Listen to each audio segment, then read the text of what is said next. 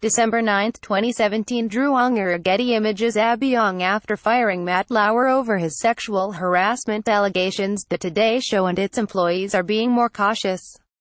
The long-running morning show hosted its annual holiday party on Thursday but this year, the celebration was said to be unusually low-key. Page 6 reported that the Today Christmas lunch party was held at the Black Barn restaurant in New York.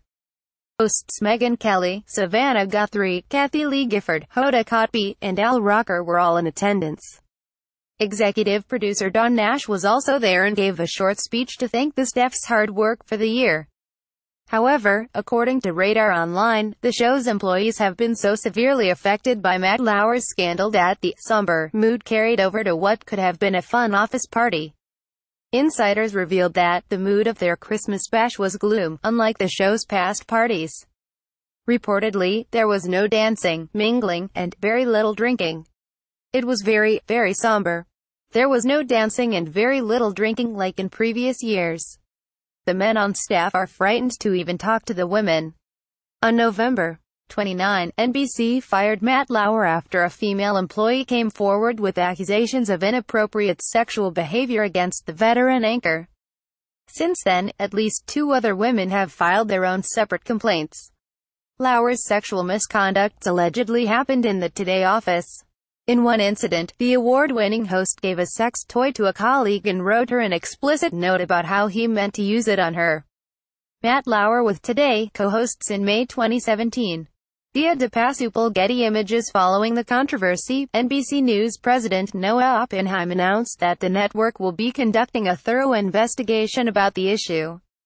He vowed to punish everyone involved and even those who kept silent, Fox News reported. I can tell you, on a personal level, that if there is anyone who works here, who still works here, who knew about this and didn't report it, this is going to be dealt with in the most severe way possible. Clearly, the Today Show's employees are still reeling from the effects of Matt Lauer's ousting. After all, the 59-year-old disgraced anchor has been with Today since its beginning. In January this year, Lauer celebrated his 20th year on Today.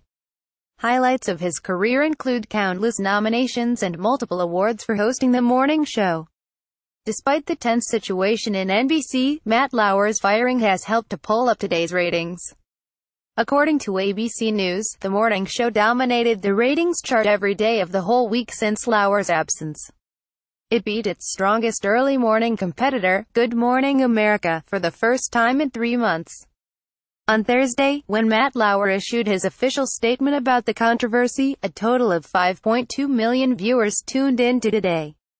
The solid ratings also carried over to NBC's Evening News. Nightly News also beat ABC's World News Tonight for the entire week.